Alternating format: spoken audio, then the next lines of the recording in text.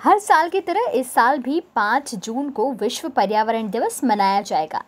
ये दिन पर्यावरण के प्रति हमारे कर्तव्य को याद दिलाने के लिए पूरे विश्व में मनाया जाता है। साथ ही ये दिन हमें पर्यावरण की सुरक्षा करने का संकल्प लेने के लिए भी प्रेरित करता है।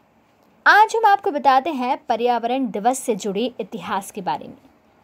1972 में संयुक्त राष्ट्र द्वारा मानव पर्यावरण विषय पर संयुक्त राष्ट्र महासभा का आयोजन किया गया था। इसी चर्चा के दौरान विश्व पर्यावरण दिवस का सुझाव भी दिया गया। और इसके दो साल बाद 5 जून उन्नीस से इसे मनाना भी शुरू कर दिया गया।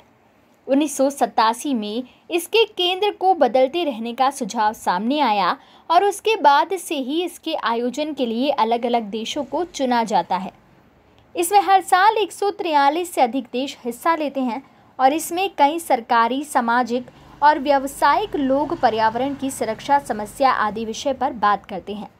इस दिन को मनाने का उद्देश्य है, पूरे विश्व को ये समझाना कि पर्यावरण की सुरक्षा करना क्यों ज़रूरी है।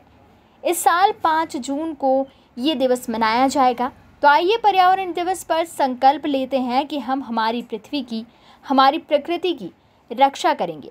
इसे हरा भरा बनाएँगे पेड़ पौधे लगाएँगे पानी को वेस्ट होने से बचाएँगे और प्रदूषण कम करेंगे, ताकि हम अपनी पृथ्वी को अपने इस अमूल्य धरा को हमेशा सुरक्षित रख सकें। Subscribe our channel and press the bell icon for more updates